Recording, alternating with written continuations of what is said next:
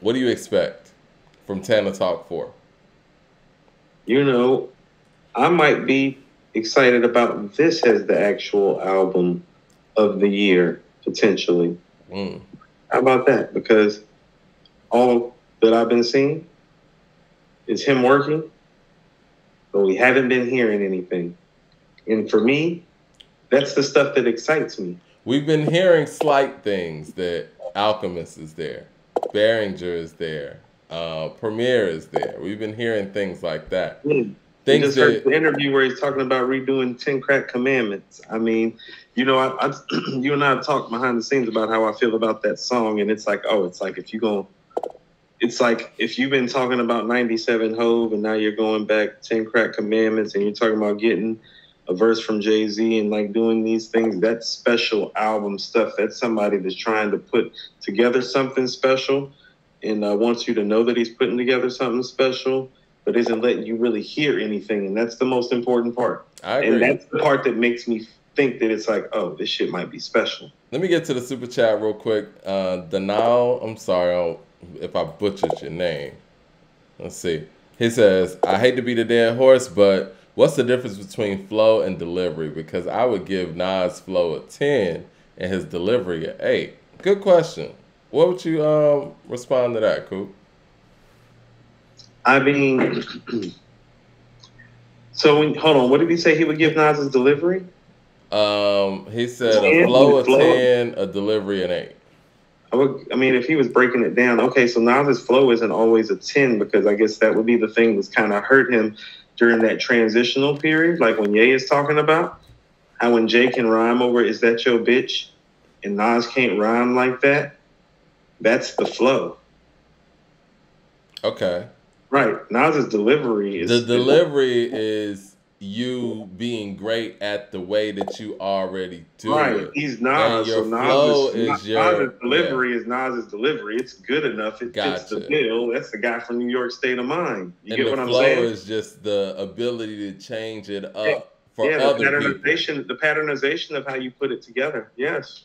For other purposes. Like you said, there's uh, Why you home alone? Why she mad at me? Room one, hold on. Why you home alone? Why she mad at me? Room one twelve, hotel balcony. Why she say, "Hey, you can hold house for me"? That's no respect. That's no respect at all. You better check it, dog. She What do you think? what do you think, Jay, if you had-. If Right, somebody asks you what is Jay Z's flow, what song would you pull out and say this is Jay Z's Oh, flow? J- okay, so Jay Z's flow to me is the guy that you're hearing like on D'Evils, Can I Live, Friend or Foe, A Million and One Question, Imaginary Player. That's his flow. It is But his flow because I can't really, I can't really put that flow on anybody else. Like right. the way he rapped on a million and one, that doesn't sound like too. Hold on, for and for all the people that say, "Hey, don't," but Mike, he has such an array of flows. Mike. does. I think that that uh, hard knock life flow is his flow too. Because if I, mean. heard got- somebody rapping like that, like you remember that um he just got signed to Def Jam, and I don't want to disrespect the the young rappers uh, because I don't know his name off top. It'll come to me in a minute, but he kind of sounds like Jay, right? He has Jay's tone, but his delivery is similar to what we've heard from previous J records, and that is what the delivery is. Or like when um like when um um um what's his name Guerilla Black went out there and sounded like Big. He was like put the potato on the burrow. Like that's that's You want to know what it is too? Is is that like A delivery rather. Excuse me. Yeah, yeah. And, and and Jay is the author of a lot of original flows, much like Big, where it's like, well, that's authentic unto him. Because like even like when like when I hear who you with, that's why I love who you with, because it's like, well, that's Jay. Like Jordan House said it's all right as Jay's flow. It is. Yes. On the Jewels, I blew more money than Latrell. They don't know mm. you too well. You gel like Flubber. I hover above the city in the private jet. Live is oh set. Pressure breaks. Feds want to investigate. Mister, I don't count nothing. Less than Less than- eight. And anything involved with my name, regardless of the fame, it's hard. I can't even walk through Harlem again. Charge it to the Charge game. it to- Platinum American Express. Man Yo. died. All I did was inherit the stress. Wow. Every jam tougher. You and your man bump you. Should just let you live. right? Negative. Negative. I swear. Yo, all right, all right. With all that being said, and, and I'm glad we went on that, my prediction for Benny's album is we're gonna get a Jay Z feature. I Yeah. think that Tana Talks Four. I'm I'm I think it would be great if we got a '97 Hove Part Two, a remix or something like that. with with with, With Jay. Jay. 97 Hove Part Two with, With Hove. Jay. Yeah, yes. And I think Jay needs this. I think it's the 25th anniversary of uh, Volume 1 anyway. I think Jay is actually building up something for a re release of the 25th anniversary, a show or something, because he's talking about Volume 1. And I think that this would be a perfect opportunity for Jay to insert himself into what's going on hip hop wise. I I would hate to see Jay Z miss the opportunity to get on Tana Talks 4 on the 25th anniversary of Volume 1 and not be on a part 2 of 97 Hove. They both need this. Mhm. Just Hip hop needs this. I, I, I agree. Is that your favorite song on Tana Talk 3? That and a tie for Rick. Rick Okay. and 97 Hove are my favorite songs. It's a tie. I mean, that would be so epic, man, to get keep the It same beat. And you know what I'm saying? Benny come with some updated rhymes. And and yo, Well, Jay got- just comes got- in there. He's got, he's got Primo there. He's already redoing 10 Crack Commandments. So it would be awesome. Like, you know what I'm saying? There's like, I told you, I'm cool if this album is literally like six tracks Alchemist, five tracks Daringer, two tracks Primo. Totally okay with that. Stop right there.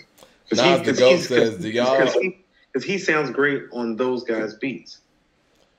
Nas the Great says, Do y'all think there's gonna be a Nas feature on Tana Talk 4? No. Hey, go ahead and go for it. I was actually wondering Oh. why Pusha T and Nas haven't worked together yet, especially with both of them having a relationship with Ye. And during that time, even when they was all recording around the same time, Hmm. I was thinking about that today. That's interesting. Mhm. I, I mean, that, I would be, can see that, that would be something that would be nice to see at this point too, don't you think? I think so too. Um. But we already know that Jay is going to be on uh, Push's album, and it's rare that somebody's able to get both of them for their album. So, Kanye, but Kanye does. but Kanye's the bridge. He's something else. Kanye, but Kanye's involved in this Pusha project, is he not? That's true. He is. Ah, there you have it. Yeah. Yeah, yeah, there you have it. Kanye is a hip hop legend. I mean, remember, don't, don't- be surprised if I said it first, though. Don't be surprised if like the Pusha T album comes out and it's got a Nas feature. Just Well, you know what? Again, I don't expect that, but I think that is a very bold prediction. Like I said, my prediction is Jay is going to be on um, Tana Talk 4. Yeah, yeah. I and I think that that I think Benny already expressed that he wants a Roc-A-Fella chain. Um, and this is before Dame Dash said if he doesn't give you a Roc-A-Fella chain, it's not official. But whatever. Um, so he wants a Roc-A-Fella chain, and um, yeah, I think this is an opportunity for it. Isn't he already managed by Roc Nation? Yes, or, or Okay. unless something changed Or with the whole like Def that, Jam yeah. signing. Unless something changed with the Def Jam signing in terms of like uh, management affiliation changing hands in some sort of. I, So- I don't know how these deals. So there's vested interest in there, right, for Jay, and and it would be a huge moment for Benny's career and for you know their client if they can insert Jay Z into this '97 Hove on Tana Talk Four. I mean, if this doesn't happen, I think this is a huge opportunity missed all around. Mhm. You know, um, Oh, I agree.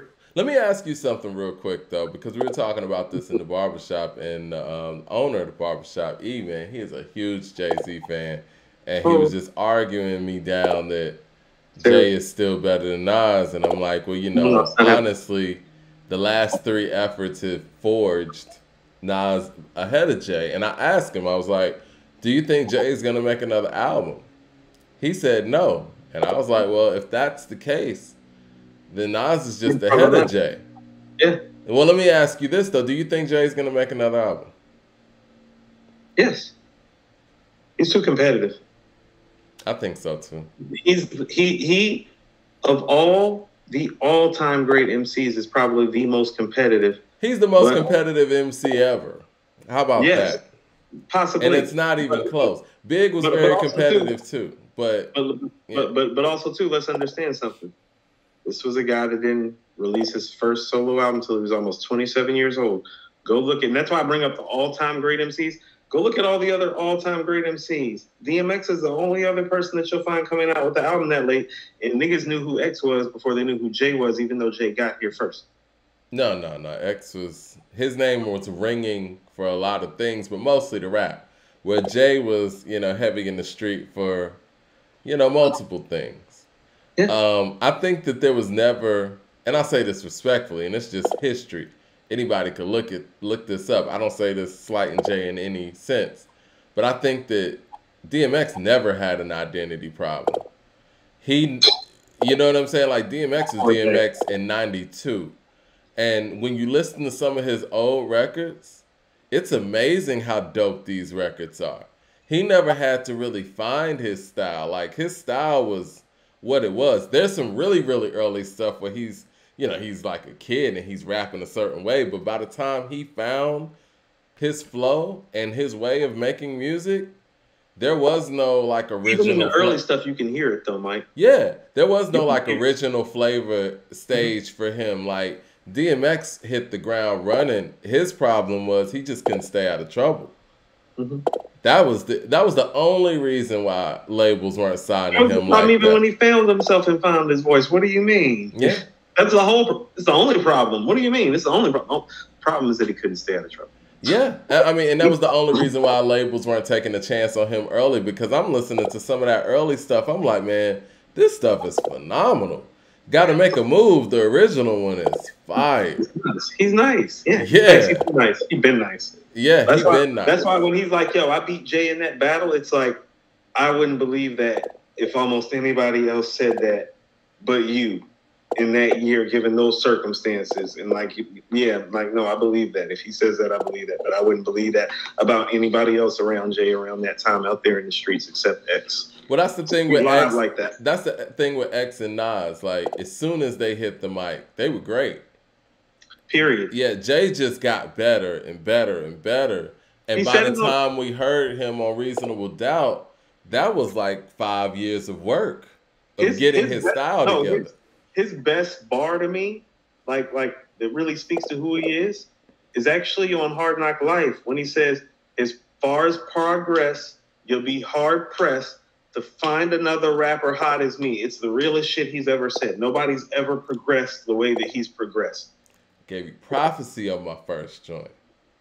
Yeah, nobody's progressed like that because he. And that's the thing too. Even understand when in my lifetime comes out, he's not even like a top fifty rapper. Like two years later, it's like that guy's top five, top ten in 1996. No, that's real, and it's like even as dope as Reasonable Doubt is, it was overlooked vastly, you know, um, from a national level when it came out. And that's what I mean. That's why he said on Hard Knock Life, you know, I gave you prophecy on my first joint. You're all lamed out didn't really appreciate it till the second one came out, you know? I don't like that he said that because what he had to understand is around the time what Reasonable Doubt did numbers wise was what the purple tape actually did the summer before, which is what Talk Like That would get you around that time, which is about 700, 800,000 units. You well, know what I'm saying? He had one. I think he had one legit hit on there, though. To be perfectly honest, I mean, I That's remember just like just like the purple tape got one legit hit on there. Yeah, I remember. They don't have legit hits. I remember um, feeling it was getting played like in the late night in radio down here at least. But yeah. I remember "Can't Knock the Hustle," you know, being on MTV. And I know that's probably mostly because yeah. of Mary. No, "Can't Knock the Hustle" was getting played in Charlotte. Yeah, it was getting. I remember "Can't Knock the Hustle" getting played. I don't know if I could say it was a hit per se, but it was one of those songs that was getting played was getting he was getting love, but it wasn't like it wasn't crazy. Yeah, ain't no nigga was the hit. Ain't no nigga was the hit, but I mean, just for me, it's like that's what I'm saying. But street albums like that weren't going like like multi multi platinum like that. Like Ready to Die went 1.5, and they had to make Juicy and Big Papa and a One More Chance remix. Yeah, no. Illmatic didn't go gold the first year. Kool G Rap never went gold. What would you say is Illmatic's biggest hit? The world is yours. Really? Is it? Wouldn't you say so? I thought it was. It ain't hard to tell, but I mean, I think for nostalgia purposes, when people hear it, it ain't hard to tell. It's a lot of people's first time hearing Nas, so it's like, oh, oh my god. But "The World Is Yours" was a bigger record, if memory serves, Um, and rightfully so, because I think it's a better song. Zombie Even- TV said, "Whoa, the purple tape was laced." Yeah, it was, but it's Glaciers of Ice isn't like no Glaciers of Ice wasn't getting played on the radio, fam. I love Glaciers of Ice, one of the best beats ever. Uh, Wasn't Purple. Tape is your top- wasn't is getting your top three. radio. purple tape. Criminology wasn't getting played on the radio. Incarcerated Scarfaces was not getting played on the radio. it was. Ice Cream was the only song on Ice that Cream was the only that was getting record that you heard. And that Yeah. was mostly Meth because Meth had I'll Be There For You and How High out around the same time. So he was just high. If Meth's not even on that hook, like if it's the same hook and there's another rapper from Wu Tang Clan singing that hook, it's not even the same. Mm. Uh, shout out to Kendall Outlaw with the super chat. He said Jay tried to chase the 80s samples and style on volume one. The Bad Boy was doing in 97. Yeah, I mean, he recorded that in Bad Boy. And I think that was executive produced by Puff, right? What? Which one? Uh, volume one was executive produced by Puff.